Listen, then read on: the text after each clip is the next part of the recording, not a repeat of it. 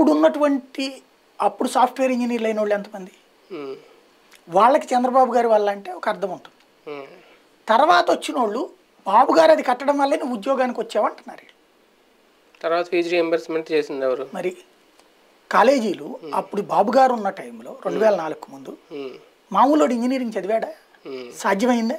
అది అవ్వట్లేదనే కదా fee reimbursement అనే పథకం తీసుకొచ్చింది. అప్పుడు ఎవరు పొలాలు ఉన్నోళ్ళు అమ్ముకునేను ఇళ్ళు ఉన్నోళ్ళు అమ్ముకునేను లక్షల ఆస్తున్నటువంటి వాళ్ళు ఫీజులు కట్టి వాళ్ళ పిల్లల్ని బీటెక్లు చదివిస్తే అప్పుడు బీటెక్ అంటే చాలా గ్రేట్. ఉమ్, బీటెక్ చదివాడు పిల్లాడు ఎంబీబీఎస్ చదివాడు అంటే ఇంజనీరు డాక్టర్ అంటే ఓ సూపర్ వాళ్ళకి బాబు గారు చేసిన మేలు ఏంటయ్యా అంటే నారాయణ చైతన్యాన్ని ఎంకరేజ్ చేయడం వీళ్ళు ఇద్దరు చదివించేటప్పటికి వీళ్ళు ఎక్కువ ఫీజులు తీసుకునేవాళ్ళు లక్ష రూపాయల రేంజ్లో. అది కట్టగలిగిన వాళ్ళే చదివించేవాళ్ళు అలా చదివిన వాళ్ళల్లో వందలో ఒక ముప్పై నలభై మంది అలా ఇంజనీరింగ్లోకి వెళ్ళారు. ఆ వర్గం అమెరికాలోనో ఇతర దేశాల్లోనో లేకపోతే ఇతర రాష్ట్రాల్లోనూ సెటిల్ అయ్యారు. వాళ్ళు ఇప్పుడు ఏ ఏజ్లో ఉంటారు ఆ టైంలో అంటే? నా వయసులో ఉంటారు. వాళ్ళు ఇప్పుడు రోడ్ల మీదకి వచ్చి ఏం ఉద్యమిస్తారు? వాళ్ళు ఇప్పుడు వి స్టాండ్ విత్ బాబు.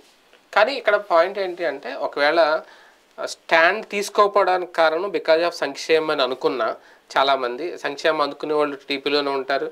ఆ, వాళ్ళ వైట్ రేషన్ కార్డు